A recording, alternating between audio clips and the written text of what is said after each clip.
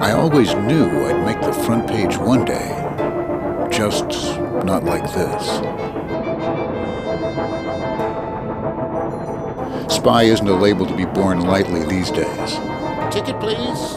This is sure to attract the Thank sir. attention of the feds. Ticket. Just what you don't need when you're about to crack the biggest riddle of our time.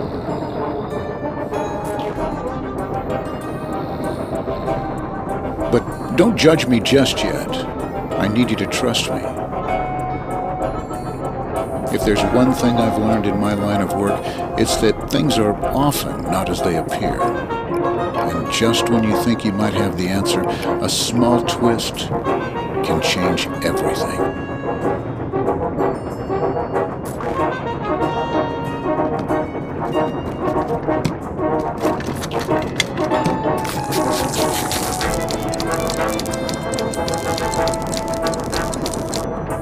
But I've always made the most of my situation. After my last project went sour, I wanted to believe that this cipher could be my salvation.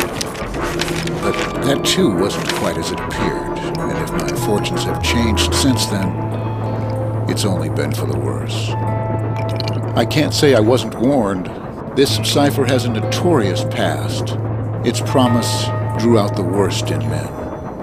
Untold amounts of gold hidden out there somewhere, just beyond our grasp. And of course, there's the man himself, Thomas Beale.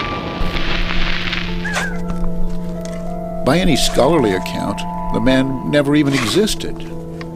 Some would call him a thief, but in his day he was a true American entrepreneur, ruthless yet ingenious. They say he buried his fortune in the Virginia mountainside, the exact location inscribed in a letter that he entrusted to an innkeeper for safekeeping. But Beale never returned. Eventually, the innkeeper's curiosity would get the better of him, but what he found was bewildering. No instructions, no words, only numbers. The gold's location lay before him on those pages, hidden in plain sight, daring to be uncovered. Many men have since attempted to decrypt the Thomas Beale cipher, and over the years the fate of these men grew darker. Sickness, madness, murder. The most promising cryptographers would spend years in its grasp and walk away lesser men. And so the legend grew. I took it upon myself to solve this cipher and redeem my name.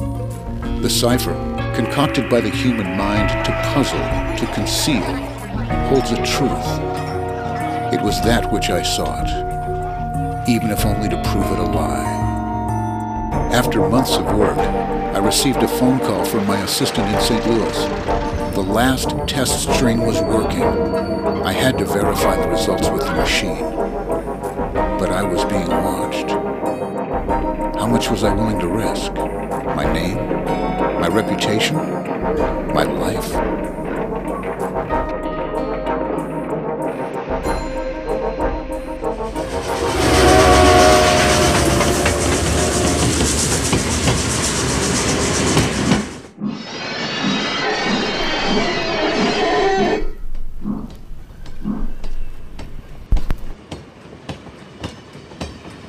Well, you gentlemen are very lucky. We don't usually stop at this. Hey, hey, mister, you can't just barge in like that. Apologies for Mr. Black. We are with the FBI and we need to search this train. Thank you very much for the inconvenience. Yeah, thanks. Damn G-men.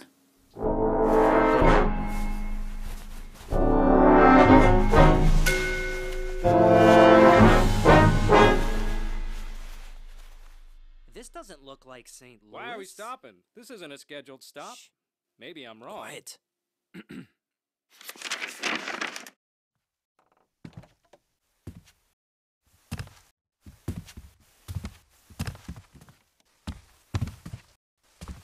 So what do we do now? Just sort of ask if they've seen the guy or something? Remember what Black talked about? You just keep your mouth shut and your eyes open. And stay out of Mr. Black's way. I'll handle the questions. This place makes me feel sick. I never like trains. Me neither.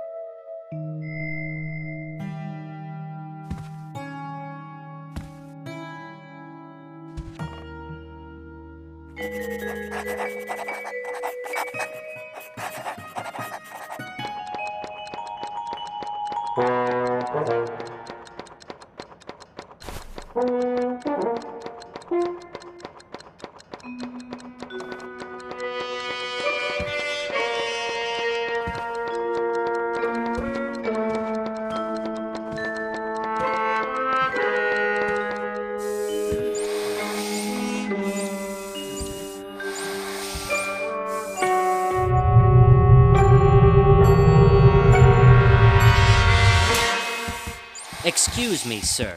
We are looking for someone and we'd like to know if you've seen him.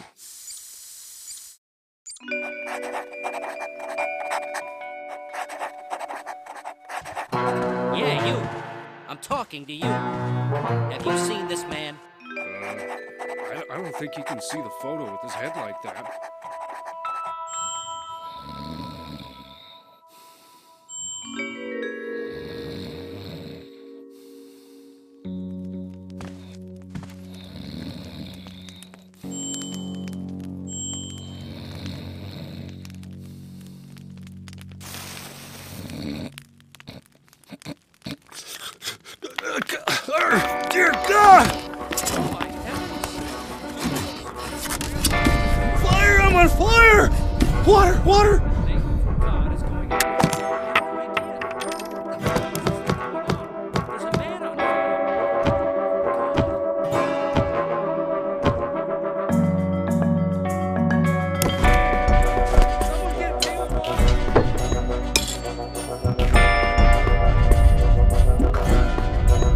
Okay, sir. If you've seen this man, blink twice. If not, blink once. Uh, actually, I, I heard of once for yes and two. Shut up, Earl.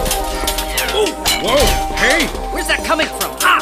I, I think they're shooting at us. You idiot! Ouch! Jesus! Did you hear any gunshots? I can't see anything. Cover me! We're gonna arrest you. Whoever's doing this. Slam it! Ow! I'm shot in the face. Shot in the face. Sometimes running is just easier. I've never believed the legend of the cipher, yet somehow I'm the closest to solving it. I'm so close.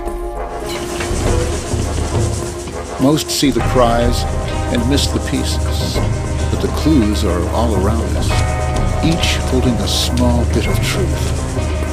And with the right twist and a little patience, everything falls into place.